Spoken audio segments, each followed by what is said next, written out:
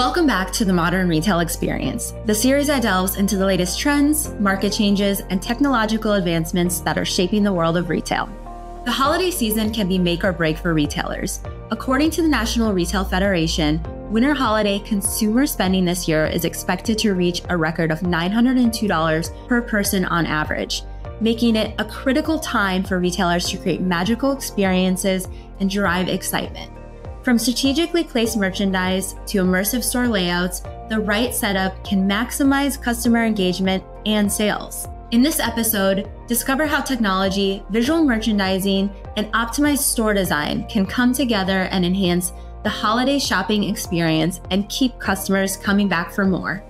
So join us as we explore all that the modern retail experience has to offer and discover how retailers are using technology to stay ahead of the curve in-store merchandising is really where the holiday spirit can kind of come alive. You know, I think it's everything from the sensory experiences, whether it's scent that's coming in, whether it's sound, and just really being able to kind of have that fun experience that's driving you. And I think the big issue is really having it linked to the merchandise and bringing it to life and kind of getting that sense of magic and wonder and really getting you excited about an impulse purchase, whether it's a gift or for yourself, but just really not so much a, an errand shopping, but one that kind of gets you really excited about it.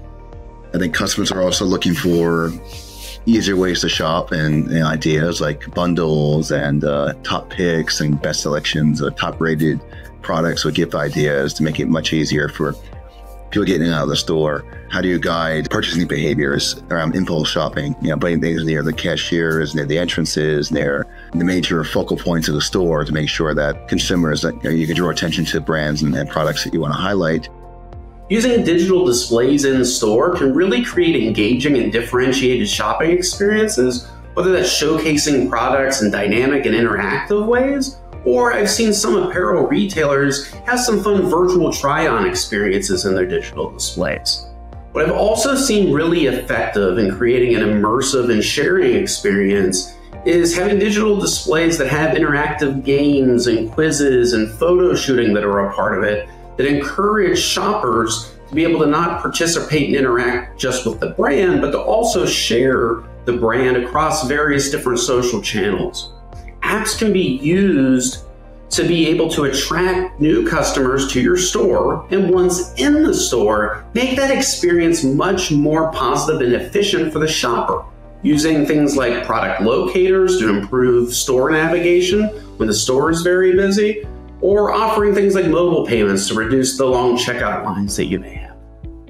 The obvious thing is to really leverage sales data real time to detect the first trends in the market. So that's obvious, and I think now everybody is doing it. I think one thing that it may be overlooked sometimes that the market, even earlier than that, market surveys now, I mean, they become cheaper and faster with, with the AI, and you can have a lot of small market surveys that enable you to detect micro trends in the market even before actually putting the product in the store. And I think for the data that are owned by retailers, some must not be overlooked, like the interaction on the point of sales, because you don't have just to, uh, to try to harness the sales data, but also the data about the interactions between your store staff, your store associates, and the clients, keeping track of what's happening in the store and equally keeping track of the navigation on the website to detect the early trends is very critical in order to be able to be as reactive as possible, have the right product at the right store at the right moment. There's so much that's happening with big data and machine learning, and I think really trying to better understand the, the purchasing and then the inventory management. So they've got not only are they buying the right amounts of products, um, but it's in the right place at the right time. So I think especially as people are, are shopping more omni-channel, is the inventory coming from the store? Is it coming from warehouses? You know, being more flexible with the way that they're accessing inventory is really important. And then on the same extent, it's using that really deep customer insights to know what people want, right? So that's everything from, you know, mining social trends and understanding what's going to be the hot topics this year. What are the colors that people are interested in? What are, you know, things that are going to be trending? So being able to kind of be ahead of that. And I think that is something that is happening more and more. And I think the closer you can get to that ordering window so that you're able to kind of take those really smart insights and data and bring that into your ordering process. The advantage that retailers have with that brick and mortar store is that they have one that can offer a seamless online to offline model, which is really an omni-channel fulfillment and uh, yeah, click and collect. So whether it's uh, buy online, pick up in store, otherwise known as BOPIS, or curbside pickup, you have the convenience to, shop as you wish and get it fulfilled the same day or within an hour or two. Personalized marketing recommendations across channels. Omnichannel, from a customer perspective, is does the retailer know me? Can they anticipate my needs? Can they deliver personalized recommendations to me and promotions based on my needs as a customer? And how does AI get layered in there to further contextualize offers to customers? I think the other thing that is really important during the holiday season, too, is you have to have a really dynamic and kind of fluid return policy. You know, oftentimes when you think about holiday gifting, uh, it's not always the product that you get for the relative, the friend, the wife that they absolutely love and that fits them. So, being able to allow them to have multiple ways and remove the friction of the return or exchange process is really helpful, whether that's initiating that in store or online, regardless of where that purchase happened. Holiday season is typically a moment where people are even more than usual looking and searching online and potentially purchasing in stores.